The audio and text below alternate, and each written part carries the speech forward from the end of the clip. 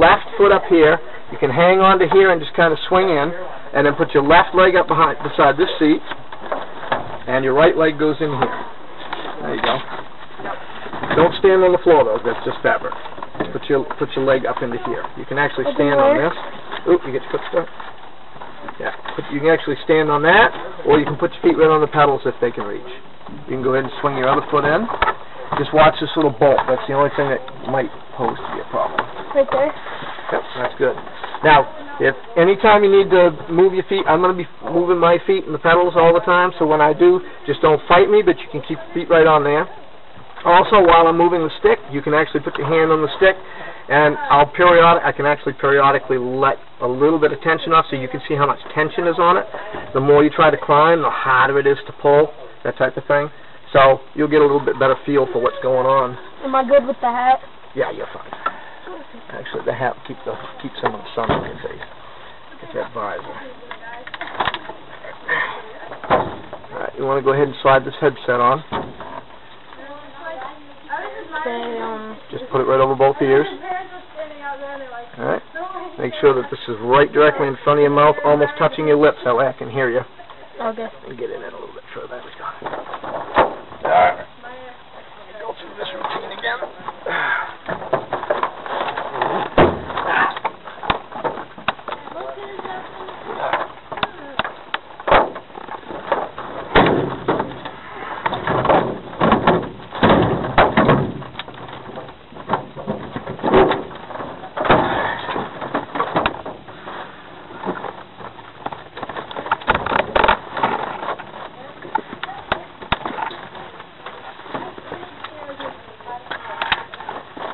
This will give you a really good uh, indicator how far you want to go in aviation.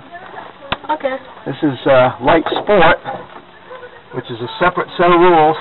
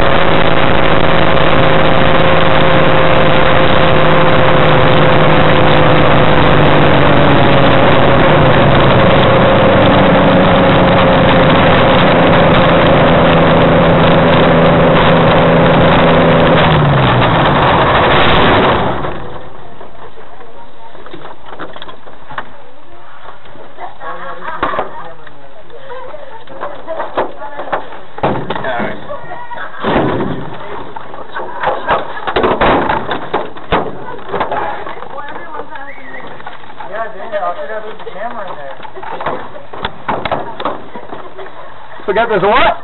There's a camera in there. Yeah. Yeah, 'cause he was uh, crying. That'll make a good YouTube video.